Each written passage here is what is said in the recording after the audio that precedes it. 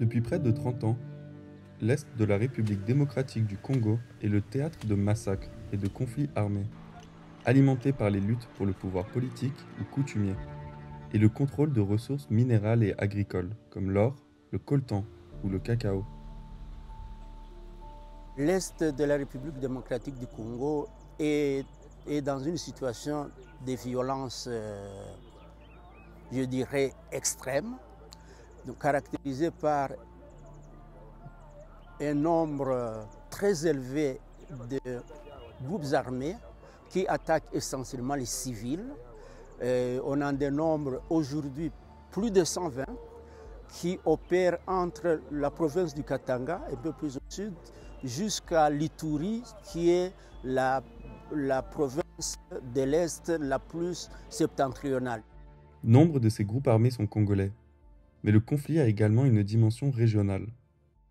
Les frontières poreuses de la RDC sont fréquemment traversées par des milices originaires de pays voisins, qui ont trouvé au Congo une zone de non-droit où se replier et opérer. Donc la régionalisation commence d'abord à ce niveau, où certains groupes sont transfrontaliers par les origines. Là, je parle de, des ADF venus de l'Ouganda. Il y a les FDLR qui sont dans les Rutshuru, qui, viennent du Rwanda. Et il y a euh, les Red Tabara et, et, les FNL qui sont plus au sud, vers la province du Sud Kivu, qui sont d'origine burundaise.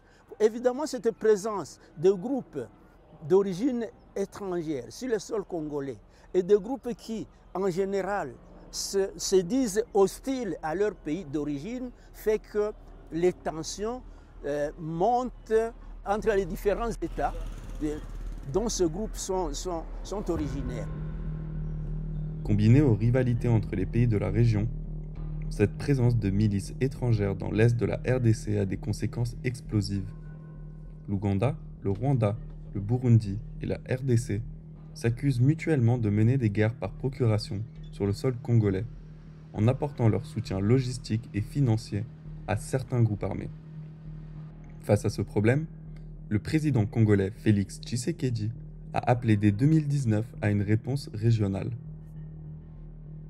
En 2019, déjà, quand Tshisekedi arrive au pouvoir, dans sa logique de trouver une réponse militaire rapide au problème de l'Est, et conscient qu'il n'a pas d'armée suffisamment efficace pour lui donner cette réponse militaire, il a tout de suite pensé à, ce qu'on appelle aujourd'hui la mutualisation de l'armée congolaise avec les armées régionales. Donc c'était d'abord une vision plutôt régionale, Ouganda, Rwanda, Burundi, qui devrait euh, mettre ensemble des efforts pour euh, faire face à la menace commune. Cette coopération régionale militaire n'a toutefois jamais vu le jour en raison des tensions entre les pays des Grands Lacs, et principalement celle entre l'Ouganda et le Rwanda.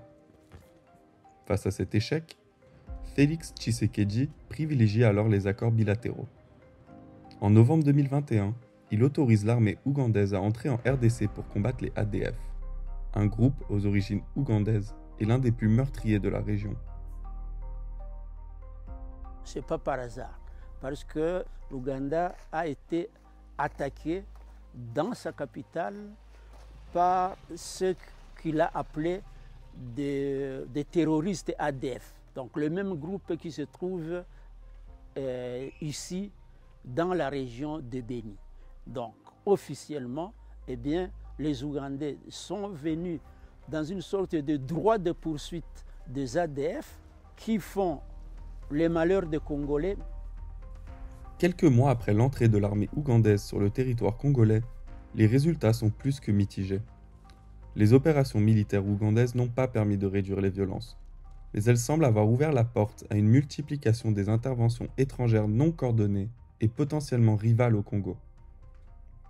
Peu de temps après l'arrivée des Ougandais, l'armée burundaise est également entrée en RDC pour combattre les Red Tabara, un groupe armé aux origines burundaises. Mécontent d'être laissé sur la touche, le Rwanda a à son tour menacé d'envoyer son armée sur le sol congolais sans autorisation. Cette fois, pour combattre les forces démocratiques de libération du Rwanda, une milice aux origines rwandaises. Est-ce que nous sommes dans une sorte de, violence cyclique régionale aussi euh, à travers l'intrusion ou l'implication des armées des pays voisins? La grande question que tout le monde se pose.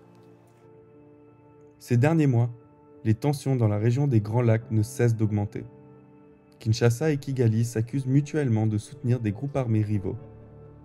En particulier, la RDC accuse le Rwanda de soutenir le mouvement du 23 mars, une milice ayant refait surface après avoir été chassée de RDC il y a près de 10 ans.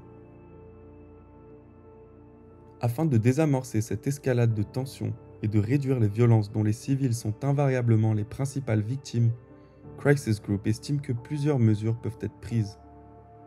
Tout d'abord, les autorités congolaises devraient fixer des règles pour toute intervention étrangère sur le sol congolais, notamment leur objectif, leur durée ou leur zone d'opération. Ensuite, Félix Tshisekedi devrait également tenter de redynamiser la diplomatie régionale et de persuader le président rwandais Paul Kagame de ne pas unilatéralement envoyer de troupes en RDC. Plus fondamentalement, les autorités congolaises devraient cesser de privilégier les réponses militaires, au détriment des mesures visant à résoudre certaines des causes profondes de la violence. Parmi celles-ci, le manque de perspectives économiques pour les jeunes. Fin juin, la communauté d'Afrique de l'Est a approuvé l'envoi d'une force régionale pour combattre les groupes armés dans l'est de la RDC.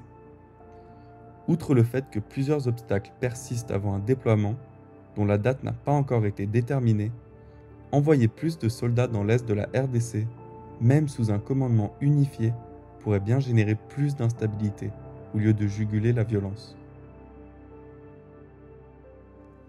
Les réponses militaires ou exclusivement militaires portent le germe de leur échec dès le départ.